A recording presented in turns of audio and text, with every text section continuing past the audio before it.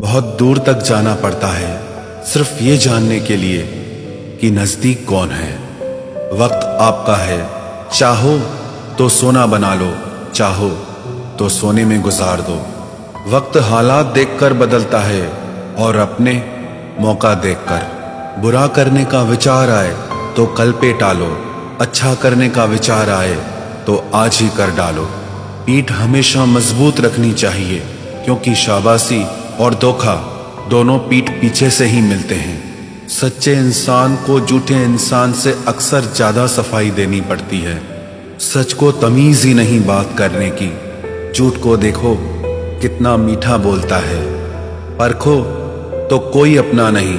समझो तो कोई पराया नहीं। कई बार मन करता है, हार मान लूँ, लेकिन बाद में याद आता है, अभी तो मुझे बहुत लोगों को गलत साबित करना है। ये वो दौर है जहाँ मासूमियत को बेवकूफ़ी कहा जाता है। अपनी उम्र और पैसों पर कभी घमंड मत करना, क्योंकि जो चीज़ें गिनी जा सके, वो यकीनन खत्म हो जाती हैं। मेरी मंजिलें मेरे करीब है, इसका मुझे एहसास है। घमंड नहीं मुझे अपने इरादों पर यह मेरी सोच और हौसले का विश्वास है। आधी ज़िंदगी गुजार दी हमने पढ़ते पढ़ते और सीखा क्या? एक दूसरे को नीचा दिखाना।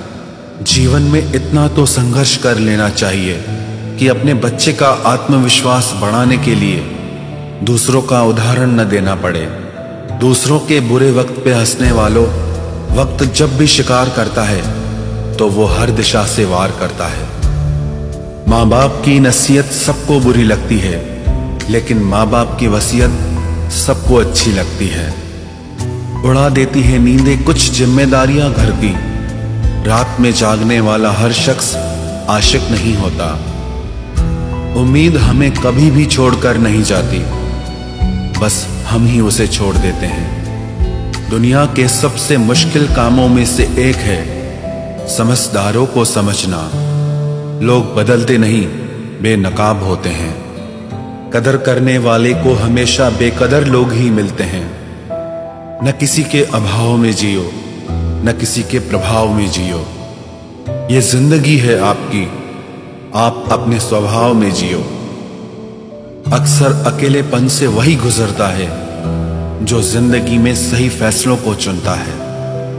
ज़िंदगी की रेस में जो लोग आपको दौड़कर नहीं हरा पाते, वही आपको तोड़कर हराने की कोशिश करते हैं।